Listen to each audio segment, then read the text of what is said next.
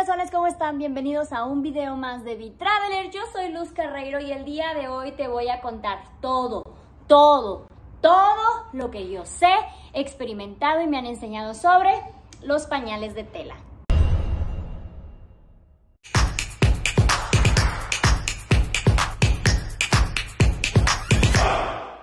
Seguramente cuando termines de ver este video digas, oh por Dios lo estás haciendo todo mal, ok, nada más recuerden que toda la información que les voy a dar en este video es bajo mi experiencia durante el año tres meses en que he estado utilizando los pañales de tela con la patroncita. ¿Por qué utilizar pañales de tela? Bueno, pues como sabrán, el mundo se está acabando corazones y es momento de hacer algo. Los desechos sanitarios son de los peores ya que no se pueden reutilizar, reciclar, no son orgánicos y pasan años, años, años en el planeta. Entonces ustedes hagan una idea de cuántos pañales utilizan al día, cuántos pañales utilizan a la semana, al mes, al año, por cuánto será, dos, tres años que tu hijo utiliza pañal. Ahora ve esa pila de pañales, esa pila de pañales va a quedar cientos y cientos y cientos de años en el mundo. Entonces es momento de hacer algo al respecto, por lo cual los pañales de tela a mí se me hacen una de las actividades más sustentables que puedo hacer bajo la maternidad. Fuera de este pequeño grandísimo detalle, la verdad es que económicamente hablando sí son un poquito más caros de primer impacto, pero a la larga igual vas a estar economizando. En cuanto a salud, es comprobado que al usar pañales de tela los niños tienen menos rosaduras. Gaia en el año tres meses que ha estado utilizando los pañales solamente se me ha rozado una vez. Y fue mi culpa, fue mi total culpa. Tomo toda la responsabilidad. Había lavado los pañales un día antes, no esperé que se secaran propiamente, le puse el pañal un poquito humedito y se rozó. Ya me di latigazos en la espalda por eso, corazones, ya me perdoné también, la patroncita ya me perdonó y aprendimos de la experiencia y eso no va a volver a pasar. Como les digo, los pañales de tela realmente son caros y es ahí donde muchas mamis se, pues, se les acaban las ganas de querer ayudar al planeta. Porque sí, los pañales desechables son muy económicos, pero ¿cuántos terminas comprando a la larga? Yo, por ejemplo, nada más tengo 20 pañales, cada pañal sale entre 200, 500 pesos, pero si no fuera por los viajes, yo estaría utilizando solamente estos pañales y ya se hubieran pagado al momento. O sea, ya ahorita significa que ya no estoy gastando un peso más en pañales porque ya he hecho el uso de ellos referente a su costo. Entonces, si tú nada más compras incluso nada más 10 pañales, porque los puedes estar intercalando cada dos días, eh, pues tu costo realmente será de aproximadamente eh, 3 mil pesos, supongamos, por 2-3 años que los uses. Sin embargo, un paquete de pañales de 40 pañales aproximadamente te salen ¿qué? 130, 150 pesos. Te durará unos 45, dos semanas. no tengo experiencia con los pañales desechables, así que ustedes me pueden dejar en comentarios esa información, pero a la larga significa que vas a hacer más gasto y más daño al medio ambiente. Dejando esto en claro, pasemos a lo interesante. Aquí les voy a mostrar los tipos de pañales que yo tengo. Tengo 20 en total y son de diferentes marcas. El que más tengo es el de Alba Baby. Este fue el primero que compré, lo compré en Amazon y personalmente es el que más me gusta, el que más se me ha acomodado. Pedí puros colores básicos, lo cual también me parece bastante práctico porque así cuando Gaia utilice un vestidito, pues nada más le pongo un pañal que vaya acorde a esos tonos. En la parte de adentro tiene este forro y el absorbente se debe de meter por este hoyito. Para abotonarse o para ajustarse es por medio de botones. Se puede ajustar de arriba hacia abajo en esta, a lo largo y se puede ajustar a lo ancho. De este lado cuenta con tres botones también. Si les soy sincera, toda esta onda de los botones me duró el gusto como un mes. Actualmente Gaia ya los usa sin el ajuste a, a lo largo y nada más vamos ajustando la parte de medio. Luego tenemos estos que son de la marca Maca Banana, o al menos de la tienda Maca Banana, si las encuentran en Instagram, porque personalmente no sé si esa sea la marca, esta es la etiqueta, pero pues son hechos en China, por ahí dice. Y bueno, tengo dos estilos de esta misma tienda. Y son estos que tienen este tipo de forro como más fresquecito y estos que de plano no tienen ni un solo eh, forro y el absorbente va aquí directamente. Me gusta mucho esto porque a diferencia de por ejemplo el Alba Baby aquí tiene este otro como doblez, otra pestañita que previene que se escurra o que se bata o que se vaya. Personalmente me gusta mucho, uno porque son mucho más delgados, no ocupan tanto espacio. Eh, me gustan los estampados, creo que ha sido el lugar donde más lindos estampados he visto. Y todo el proceso de cómo se ajustan es exactamente igual que el del Alba Baby, que es el que a mí más me gusta. Entonces, estos la verdad yo también les doy un 10 tenemos Ecopipo y aquí va a haber mucha discrepancia y es que a mí no me gusta Ecopipo. Ecopipo es una marca mexicana y es la más popular de que cuando tú empiezas a investigar sobre pañales de tela es la que más te recomiendan y por la única razón por la que a mí no me gusta es por el velcro. Odio el velcro porque es un show, vean aquí ya se está pegando por todos lados. Sí, es un poquito más fácil de colocarlo, a la hora de que ya tenemos a la criatura para nada más ponerle el velcro y amarrar el asunto, pero me causa más conflicto que el que me facilite las cosas. Entonces, sería la única razón realmente por la que no me gusta el velcro, porque a la hora de lavar se está pegando con los otros absorbentes, porque se está haciendo ahí como un show. Pero si ustedes no tienen ningún problema con esto, sí son muy buenos, son bastante recomendables.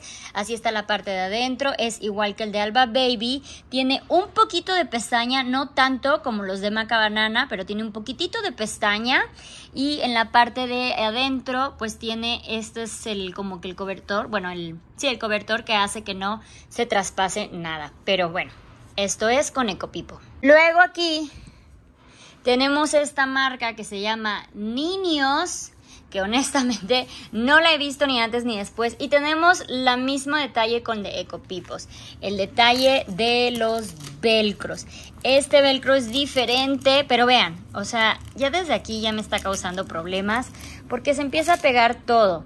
Entonces a mí no me encanta, estos son mucho más sencillos, efectivamente más económicos, no tienen pestañita en ningún lado no tienen también como para meter el absorbente por dentro, pero lo que sí tienen son estos botoncitos donde tú aseguras tu absorbente. Sin embargo, el absorbente que va para este pañal debe ser muy específico para este pañal, porque no todos los absorbentes llevan esta, este botoncito.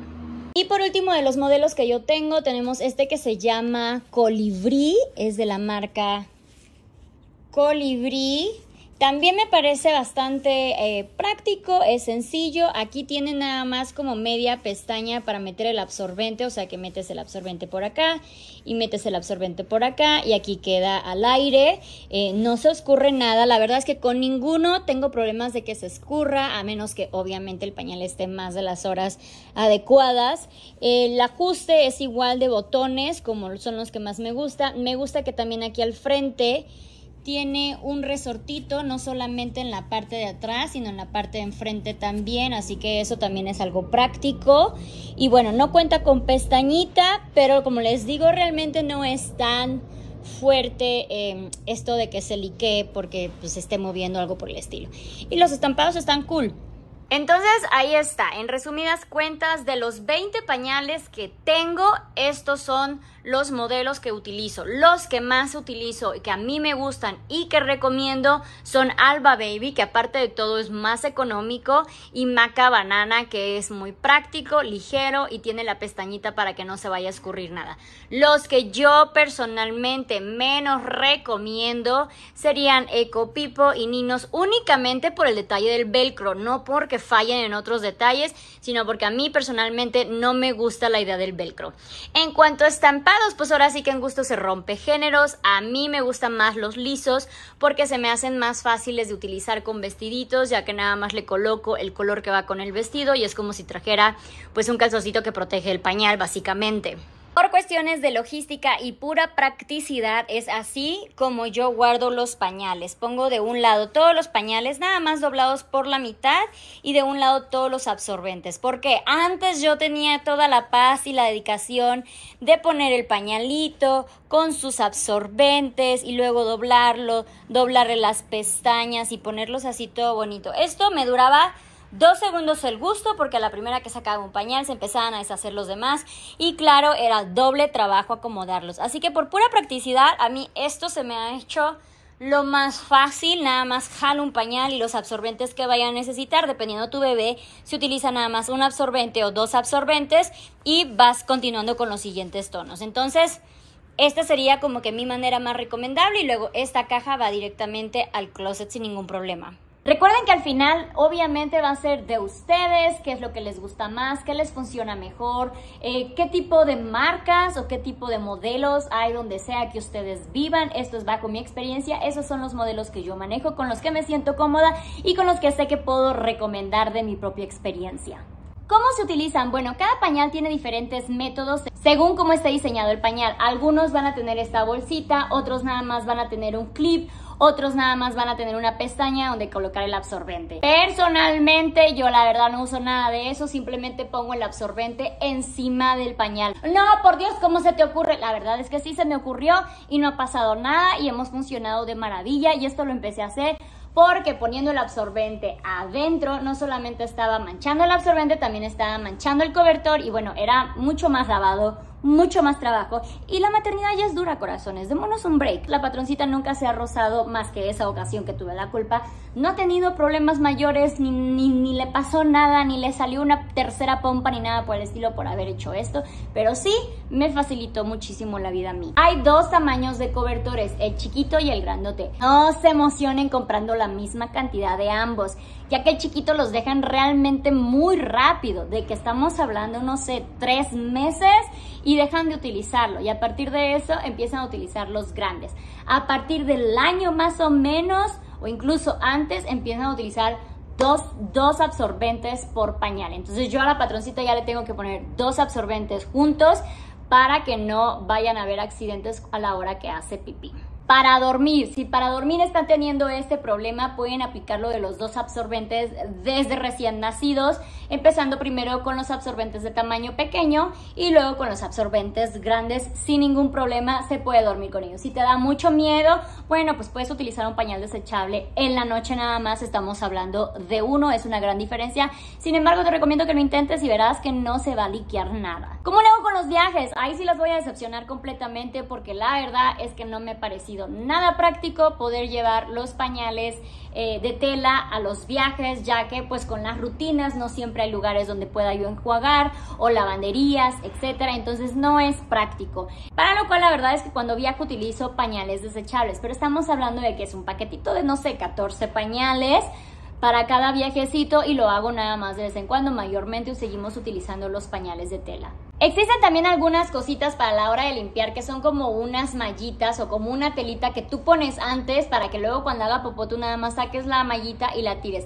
La verdad a mí eso no se me hace práctico, se, me hace nada más un gasto extra innecesario porque una no sabe si va a ser para pipí o popó, pero pipí no te va a ayudar de nada y la mayoría de los cambios de pañal son por pipí, no por popó. Y para popó la verdad es que a la hora de ponerle tú el pañal pues se va a arrugar, se va a mover no va a quedar extendido precioso como uno se imagina y al final ni siquiera va a agarrar todo el popo. Entonces yo la verdad no les recomiendo que utilicen esa mallita, lo que les recomiendo es que pierdan el asco. Y ahora sí la parte más traumática de la historia. He intentado hacer este videito ya por mucho tiempo porque me parece un video necesario e interesante para que varias mamás se puedan apoyar de este. Sin embargo les voy a ser sincera. Les voy a ser honesta con este pedo. Lavar los pañales es horrible. Es un show, ¿ok? Se tienen que jugar primero, luego restregar, luego el lavador y luego el secado y luego todo este show. Entonces, esto es lo que yo hago. Y ojo, aquí es donde van a salir las Estefanías a decirme que todo lo estoy haciendo mal y que lo estoy dañando y que estoy gastando esto y estoy haciendo lo incorrecto. Pero esto es lo que a mí me ha funcionado. También muchas van a decir es demasiado gasto de agua y si efectivamente se gasta un poquito más de agua, sin embargo no se gasta tanta agua como es la fabricación de los pañales desechables. Recuerden que cuando estamos hablando de cosas en métodos o en puntos de sustentabilidad, no solamente se trata de cuánto nos cuesta lavarlo, usarlo, sino cuánto cuesta fabricarse.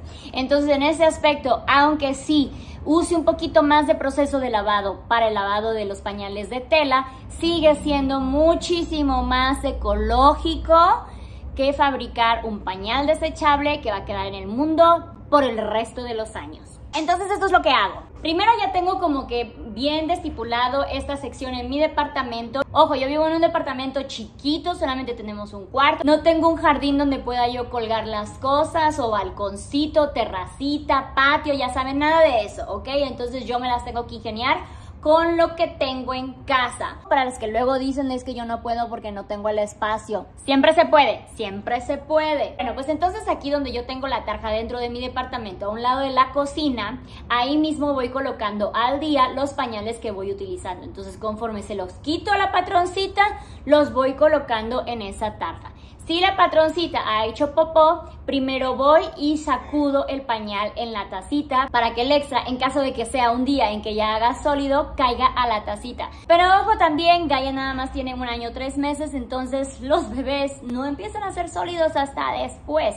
Es solamente algunos días y según lo que consume, que hace más sólido y otros días hace más aguados. Entonces la realidad es que tenemos que lidiar con los aguados por lo menos un año. Entonces ya que está en la tarja en las noches, puede ser en la misma noche o incluso si tengo mucha flojera me espero dos días seguidos para que se junten los pañales. Ya que esté juntado los pañales veo, si son pañales donde hizo pipí, le quito el cobertor y esto lo coloco en una bolsita que tengo al lado o una puerta, puede ser una cubeta, puede ser un cesto, lo que ustedes gusten. Voy colocando ahí los cobertores porque estos realmente no llegaron a mancharse. Incluso algunas recomiendan que está bien, que no hay ningún problema, en que puedas reutilizar estos cobertores, no se han manchado, significa que los vuelves a sacar, les vuelves a poner otros absorbentes y así hacen un uso más. Por lo tanto, no necesitarás tantos pañales, simplemente son los absorbentes. Ya que separé los cobertores de los absorbentes, en el caso de los que tienen popo y que se han manchado tantito de las orillas, eso sí los dejo ahí, empiezo a enjuagar. Con la ayuda de la tarja restriego el pañal para que saque el exceso de lo que es el pipí o el exceso de lo que es el popó. En caso de que sea popó, me, me apoyo de una brochita que uso únicamente para esto, no, utilizo, no la utilizo para nada más para poder restregar un poquito más el extra de popó. No, no cuesta muchísimo, no es como que se quede súper pegado y sea una batalla. La verdad es que sale bastante fácil. Una vez que ya los haya yo enjuagado bien, los exprimo bien y los dejo a secar. El área donde están mis pañales tiene un, eh, pues tiene aire, tiene ventilación para que los olores no se mantengan o para que seque un poquito más rápido, ya saben. Es muy importante saber que el popó no siempre huele mal. Va a depender muchísimo de la alimentación de tu criatura para saber si el olor o no va a ser intolerable. Pero de una vez aceptemos que nos vamos a batir, vamos a meter las manos a la guerra y seguramente nos vamos a batir, hay que perderle el asco, es la popó de nuestras criaturas, las hicimos con mucho amor y bueno, ya saben, maternidad. Ya una vez que enjuago bien todos mis absorbentes, los coloco a secar noche a noche. A la hora que estamos restregando, si tu pañalito, si tu absorbente le quedan manchitas por el popó, lo único que utilizo yo es, por ejemplo, un quinta manchas tipo este que yo utilizo de Vanish, para colocarlo dentro del absorbente, sobre el absorbente vuelvo a tallar y no lo enjuago, lo escurro nada más y lo dejo haciendo su efecto hasta que lo lleve a la lavadora. Para que al día siguiente los pueda poner en la bolsita donde estoy poniendo todo y nuevamente lave los de ese día. Y así consecutivamente hasta que ya nada más me queda uno o dos pañales para usar. Ya que la veo gorda y nada más me queda uno o dos pañales para ese día, ahora sí pim pom papas, agarro la maletita donde están todos los pañales y me voy a la lavandería porque yo no tengo lavadora. Pero si tú tienes lavadora sería mucho mejor. En la lavandería pues el proceso es el mismo que lavar cualquiera de las otras cosas. Colocas los pañales en la lavadora, le pones tu detergente del que tú gustes y luego los dejas unos minutos hacer el ciclo de lavado. Por último pones el suavizante, que sea un buen suavizante, porque acuérdate que eso va en la colita de nuestros bebés. Una vez lavado y enjuagado, yo lo meto en la secadora porque como les digo, no tengo terraza, no tengo ventanas donde pueda yo sacar al aire mis pañales para que se sequen. Necesito de la secadora. Pero si tú tienes, aprovecha y seca el sol. Recuerden que todo este tema de los pañales de tela es para ayudar al medio ambiente. En la secadora lo dejo dos tiempos. En la primera lo dejo todos juntos, los cobertores con los absorbentes y en la segunda quito los cobertores ya que esos son más fáciles de secar y dejo únicamente los absorbentes a alta temperatura. Recuerden que son absorbentes, entonces está difícil que sequen a la primera. Ni con los dos ciclos de secado logran secarse, secarse. Entonces lo que hago después tristemente es regresar a mi casa, sacar los cobertores y colgarlos como piñatitas por toda la casa para que terminen de secarse naturalmente. Pero recuerda que si tú tienes patio, terraza, etcétera, es mejor que lo pongas ahí colgadito al sol o a la sombra y se va a sacar de manera natural más fácil. Una vez por fin secos, parece que el martirio ha acabado y ahora sí me dispongo a colocarlos en su contenedor para que los pueda seguir utilizando. Por supuesto, hay detergentes especiales, hay jabones especiales, hay brochas especiales, hay todo especiales para los pañales de tela. Sin embargo, yo no utilizo nada especial más que los pañales y seguimos vivas, seguimos funcionando. Hay veces que luego con esta idea de que tengo que hacer todo sustentable seguimos comprando más y más y más y más cosas y al final terminamos en un consumismo innecesario. Entonces piensen bien cuáles son las cosas que pueden utilizar, que pueden reutilizar, que pueden multiusar con varias eh, actividades otras prendas, otras ropas para que esto sea pues ahora sí que en favor del medio ambiente. Y eso es todo, corazones. Espero haberles contestado o haberles enseñado lo más que puedan sacarlos de la duda, haberlas animado. Yo sé que es una chambota, yo sé que es dedicación, hay que tener compromiso para este pedo, pero la verdad vale la pena y al final te acostumbras. Yo ya lo hago sin darme cuenta ya llevamos un año y medio con esto y la verdad es que me siento muy contenta, estoy muy tranquila, estoy feliz, estoy brillosa, estoy... Espérense, ya no estamos hablando de los pañales, ¿verdad? Ok, se los recomiendo muchísimo, háganle el intento, de verdad, el mundo lo necesita. Por favor, anímense a darle una oportunidad a los pañales de tela. Muchas gracias por ver este video, no olviden que si les gustó, denle like, compartan, suscríbanse y si tienen más dudas, opiniones, recomendaciones con educación, déjenlas en comentarios para que todos aprendamos más. Les mando un beso de...